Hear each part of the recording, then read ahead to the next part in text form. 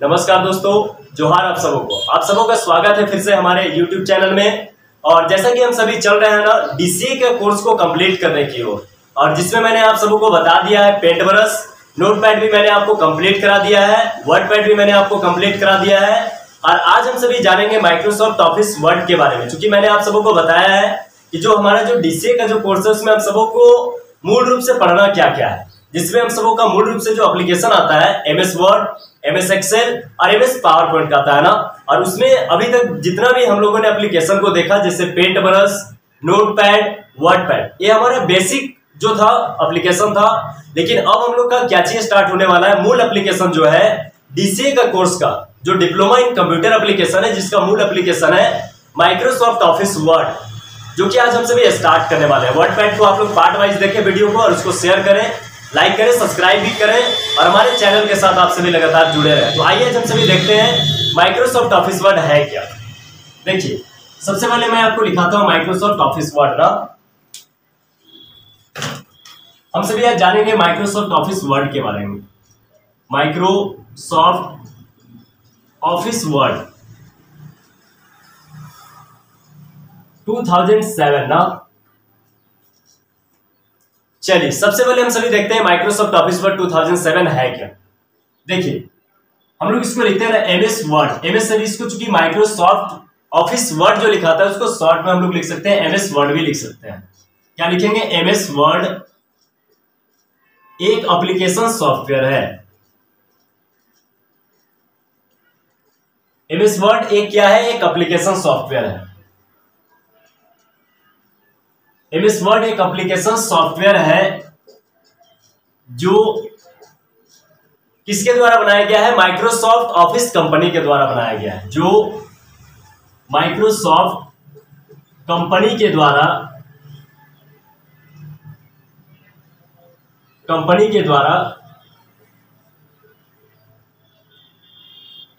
बनाया गया है। कंपनी के द्वारा बनाया गया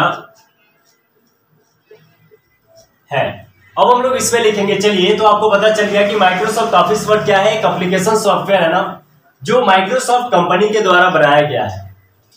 अब इसमें हम लोग काम क्या कर सकते हैं? एमएस वर्ड के माध्यम से एमएस वर्ड के माध्यम से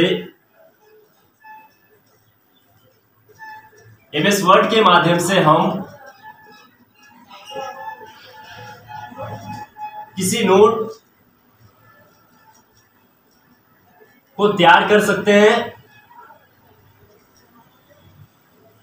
को तैयार कर सकते हैं,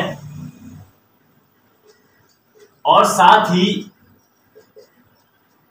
और साथ ही उसमें एडिटिंग भी कर सकते हैं। एडिटिंग भी कर सकते हैं।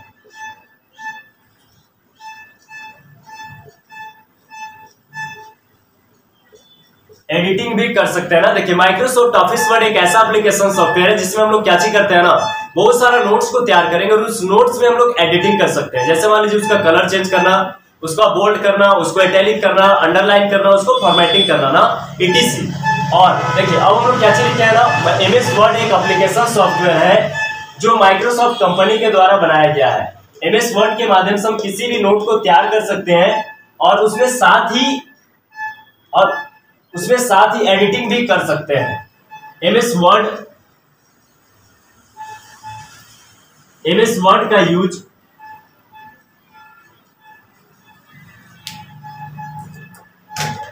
एम एस वर्ड का यूज़ आज आज लगभग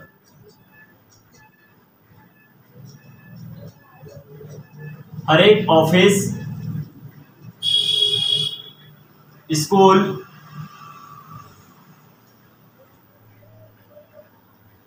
स्कूल कोई संस्था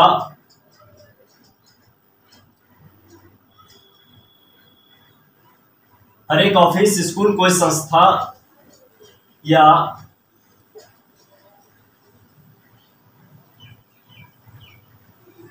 कोई भी कंपनी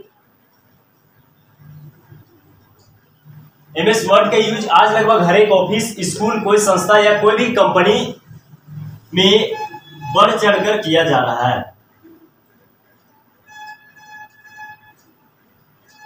बढ़ चढ़कर किया जा रहा है। देखिए एमएस वर्ड एक ऐसा एप्लीकेशन सॉफ्टवेयर है जिसका यूज़ आज लगभग क्या हो रहा है, हर एक ऑफ़िस में लगभग किया जा रहा है ना, खास करके जैसे स्कूलों वगैरह में भी है। ऑनलाइन क्लास वगैरह आजकल होती है ऑनलाइन क्लासेस या फिर उसमें जैसे मान लीजिए बच्चों को जब अगर सिखाया जाता है किस तरह से हम लोग कैसे कोई नोट्स बनाएँगे नोट्स बनाने के बाद उसमें किस तरह से हम लोग प्रिंट आउट निकालेंगे प्रिंट आउट निकालने के बाद कैसे उसमें कोई नोट्स बनाएँगे। तो लगभग अगर देखा जाए तो आज जो है किसी भी ऑफ़िस स्कूल या फिर कोई भी संस्था में या फिर कोई कंपनी की अगर है तो उसमें भी आजकल क्या किया जा रहा है एमएस वर्ड का बढ़ चढ़ के इस्तेमाल किया जाता है। इसलिए माइक्रोसॉफ्ट ऑफ़िस वर्ड को हम लोग को सीखना बहुत ज़्यादा इंपॉर्टेंट हो जाता है। तो आपको पता चल गया कि माइक्रोसॉफ्ट ऑफ़िस वर्ड 2007 क्या है?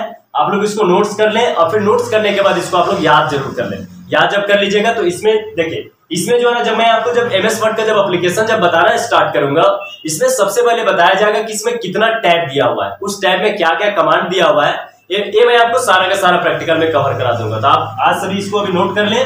और नोट करने के बाद इसको आप सभी याद कर ले। याद करने के बाद इसको याद करते रहे और इसको लिखते रहे ताकि आपको याद रहे। जब प्रैक्टिकल जब स्टार्ट करेंगे तो आप लोग कहीं पर भी फंसेंगे नहीं। तो आज के लिए बस इतना ही। आप लोगों का दिन शुभ हो। बहुत बहुत धन्यवाद।